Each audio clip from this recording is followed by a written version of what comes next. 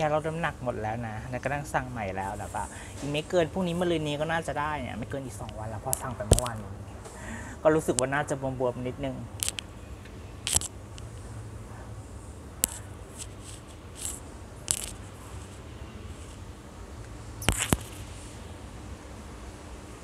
ตัดมามาเราเป็นไงบ้างนะ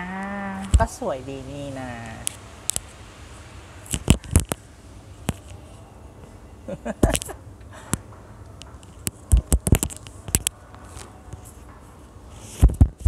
คนเราก็ต้องสู้เนาะไม่ว่าจะเจอเรื่อง